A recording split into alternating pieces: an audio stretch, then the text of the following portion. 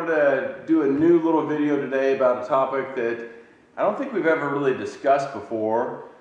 So I thought I'd um, throw this out, and that is how I use scat, specifically um, when it comes to coyotes, but we'll talk about other things as well. But generally, um, where I'm most using coyotes or, uh, or scat is with coyotes, mainly because that's the main target species that I'm after. And, um, and, and, I guess I should probably preface that by saying, um, really when we're talking about um, different species and trying to catch different species, I set, set specifically for specific species. So when I'm trapping coyotes, I'm basically setting coyote sets. Um, I'm not trying to set a, a, trap or a set that will catch a fox or a skunk or a coon or a possum or even a bobcat. I'm specifically targeting coyotes. Um, if I'm targeting bobcat, then I'll specifically set a bobcat trap. Um, so there might be areas where I have bobcats and I have coyotes and I'll set you know multiple traps in that area um, with some being specifically for bobcats and some being specifically for coyotes. But a majority of my time is spent coyote trapping and um, so that's what I'm going after and, and that will be a majority of what we'll talk about today. Um, so how do I use SCAT and what, um, I don't want to say are the proper ways to use SCAT because I think there's a lot of different ways to use SCAT and you should use it in the way that it's working for you. If you're catching tons of critters, then I would keep doing it. Um, I'll just talk about some of the ways that I use it and some of the ways that I have found works best for me in my area over, over time. So number one is I really use SCAT about three, maybe four different ways. Um, number one way that I use it, and I don't really do it that often in this particular um, respect, but if I do use this particular kind of set, I will always use SCAT, and that is some kind of a trail set or um, some kind of like a mafia type set or something like that. Um, I do use those sets from time to time, but honestly, where I am, I don't do it that much. I wish I could do it more, to be quite honest. And on land where I can and I have the right location, I will do it because I think it's a it's a fantastic way um, to use to use scat and to just give that coyote a, a completely different look. A look at where that coyote really doesn't have to do anything to get caught, unlike a flat set or a dirt hole or or a T-bone um, something like that. I mean, the cow really, all he has to do is just walk in that area and you know that's where he's walking. He's to hopefully get caught. Um, so that's the first place that I use it. And then you probably are wondering, well, Dan, why don't you use trail sets more? Mainly for two reasons. Number one, a lot of the area that I trap is private ground and farm ground, and I would say 90% of it has cattle. And where I find the best locations to set up trail sets would be on those cattle pads. And I'll see the coyotes that are running those cattle pads. You'll see their tracks coming and going, and you're like, wow, this is, I mean, they're just running this trail. But what else is on that trail? And that's cows. And I've tried to set trail sets like that before, and it's, it's a complete waste of time. Um, those cows are moving on those same trails that they've created that the coyotes are now moving on and you're not going to be able to keep those cows out. It, I get very, it's very frustrating when, you know, two of the three days or three of the four days that you're checking traps, um, your trap is set off because the cows are in it. So that's the number one reason I don't use that particular set that often. And number two is, um, is deer. Um, again, the same kinds of trails that a lot of times I will find the coyotes are using are the deer are using. The deer are the ones that probably put that trail in if, the, if it's not on land with cattle. And now you've got deer that are just working that trail constantly. And I end up getting my trap set off by deer, you know, probably not as much as cattle for sure, but half the time, a third of the time, deer getting into my sets, it's, it's just, I, it's just kind of a pain. So consequently, I don't use trail sets that much. I actually really like to use them. I just don't have the opportunity that much where I'm on land where I can keep them out of the cows and out of the deer and, and get them on the trails where they need to be successful. Um, if I do find those kinds of locations, what I do with scat is um, I'll pick out an area and then I'll try to pick out an area of the trail that's kind of closed in a little bit, like maybe there's a tuft of grass right here, or a rock, or um, branch, or a small itty bitty little stump, or something that where the trail is running and maybe it's this wide or whatever, and then it kind of pins them in a little bit. I'll try to find something like that, something that maybe juts out. That's where I'll put my trap in. And unlike a dirt hole that I use, the big showy dirt holes that I like to use, you, you need to blend in this impeccably, obviously. And I'll blend it and sift dirt two or three feet up on both sides of the trail, um, throw leaves around, throw grass around, try to blend it all in. Or, you know, so it's two three feet up this way, two three feet up that way. I've closed that in. I've put my um, trap in there. And then what I'll do is I'll use my scat and I'll put that scat upwind from where my trap is and I'll set it right in the middle of the trail. Maybe 12 inches, 14 inches away from my trap, upwind of, the, of where my trap is, right in the middle of the trail.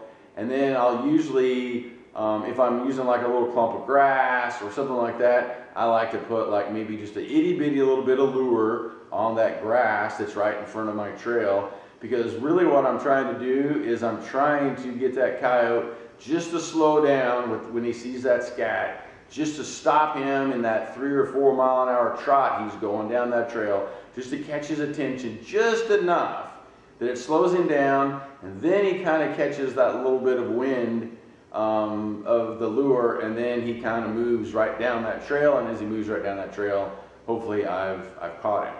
Um, that's the way I like to set up those trail sets. Um, I've seen other guys that do it the same way. Um, they're just a lot better at it probably and do it a lot more. Um, but that's the way I, I kind of like to do them. I just don't do them very often here because I'm just not, don't have the right location. So the other place that I like to use scat is both at um, dirt hole sets and uh, sometimes I'll use it at flat sets too, but more dirt hole sets than flat sets. And, um, and where I like to use it at a dirt hole set is two locations, not every time, not the same, and generally not two pieces of scat. I'll either put it on the side, and when I put it on the side, I'm doing two things. Number one, I'm using it to help get that coyote, get his mind and draw him to my set. And, and then secondly, I'm using it to help guide him. Um, instead of using a clod of mud or dirt or whatever else I'm using. I do not like using sticks. Um, I think I've said that in another video. I, I just don't think that works well for coyotes. Um, but if you can use a piece of scat to kind of help him guide, um, then that's a great way. And then the other place that I'll help him guide is to put it in that dead man zone. It's that little area right before your dirt hole goes down and right before your dog.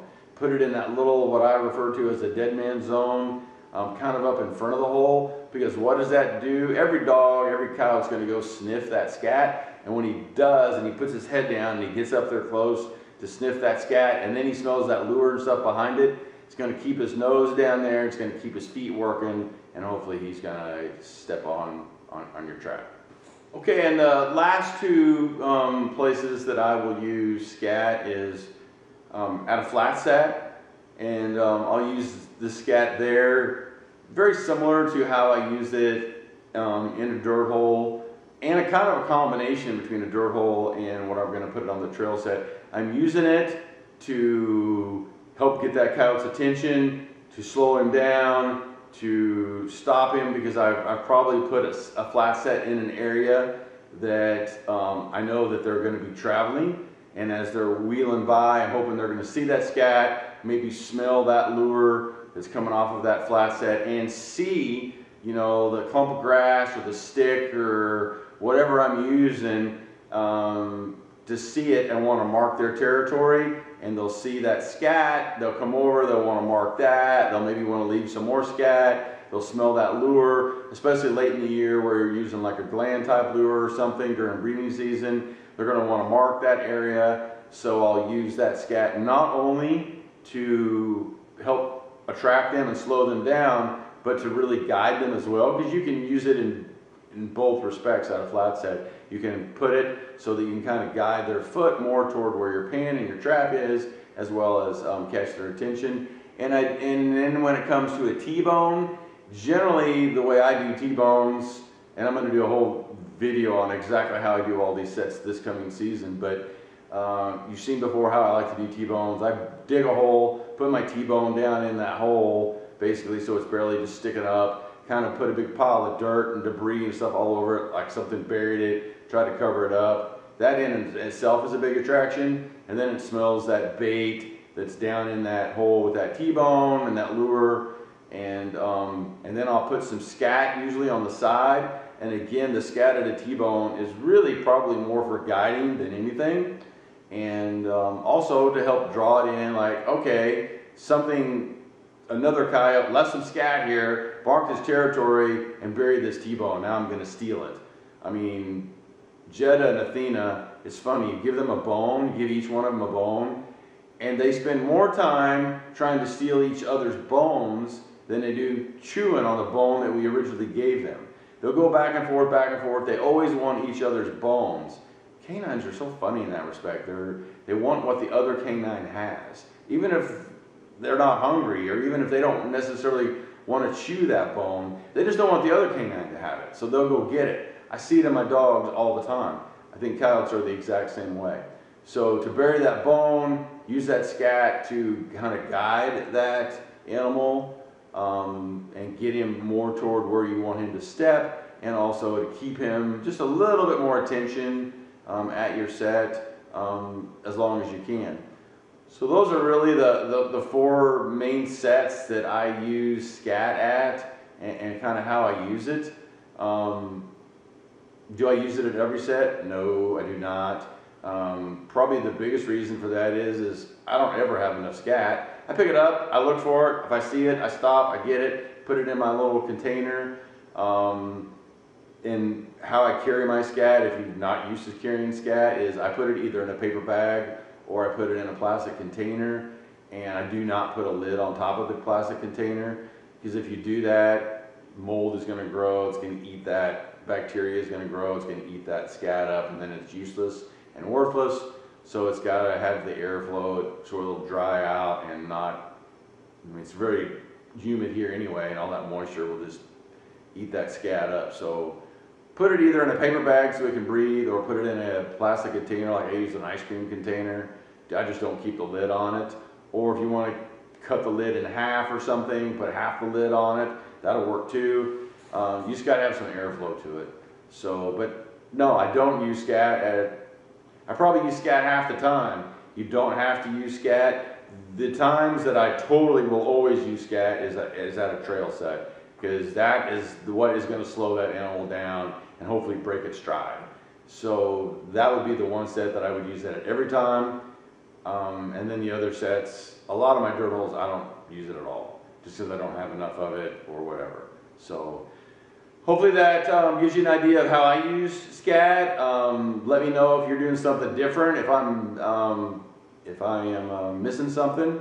And um, as always, if you're out on the trap line, be careful. Hope you're doing well A couple more days. Well, actually, it starts tomorrow here, but I'm not sure if I'm going to get out tomorrow or not. It's been raining here all day today.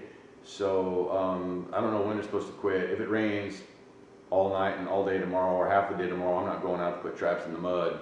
So I probably won't put them out till Monday at some point. But hopefully wherever you are, it's dry and you got traps in the ground, you're catching critters, and hope this helps. So I'll talk to you soon. Be careful.